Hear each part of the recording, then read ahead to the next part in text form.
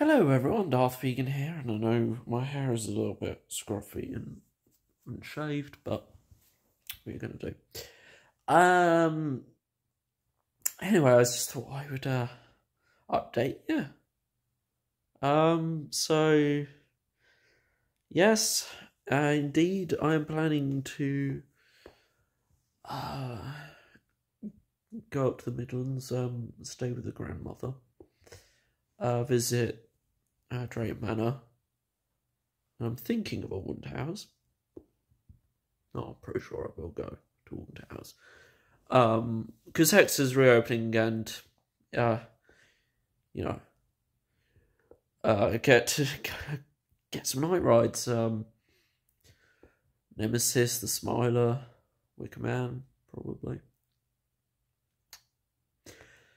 Um, I don't, I don't know about the um, Scarefest attractions, but yeah.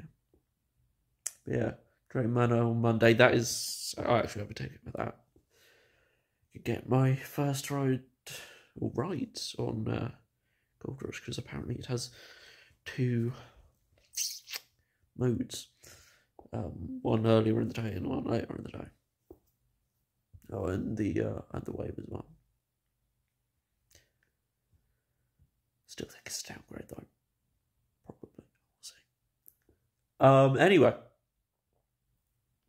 So Monday, sorry, man, Tuesday Alton Towers. Wednesday I will then head down to see the aunt and uncle. And then uh Thursday uh Thorpe Park. Come back Monday. So yeah. Again with Thorpe Park night rides. Uh, Hyperia, obviously, probably Stealth and Swarm as well.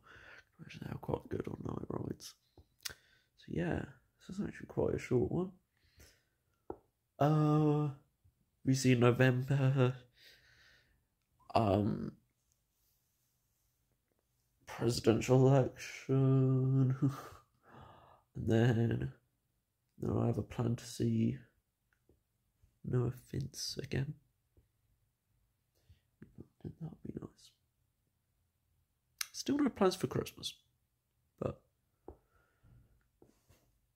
I don't know. Uh, New Year as well.